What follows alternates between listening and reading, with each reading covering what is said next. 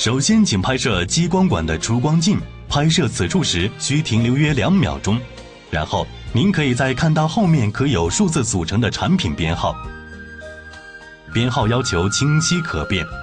接下来，在弹簧后面，您可以看到负电极筒。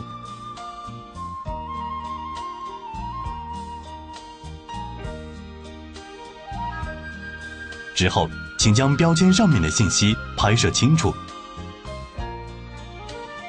并沿着激光管拍摄到激光管后部。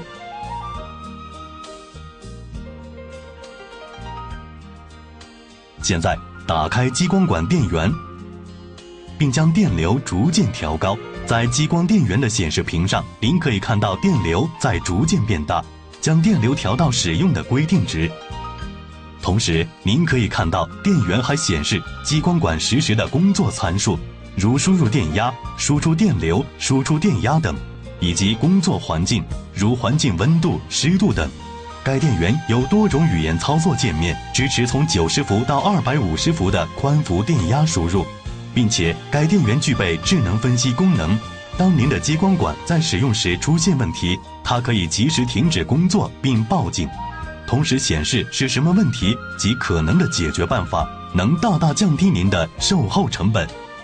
详细信息，您可以联系您的机床生产厂家获取资料，或登录北京热刺网站，三 w 点 r a z y laser 点 com。如果您手头没有我们的电源，则可调节电流，拍摄串联在激光管负极接线上电流表的指针变化，也可使用万用表的毫安档代替电流表进行拍摄。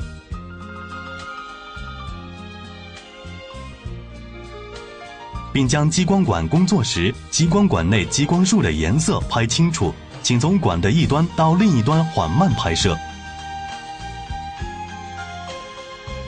最后，请拍摄距离出光镜三十至二百毫米处未经反射镜，在亚克力上打大约五至八秒钟，深为五毫米的光斑摄像。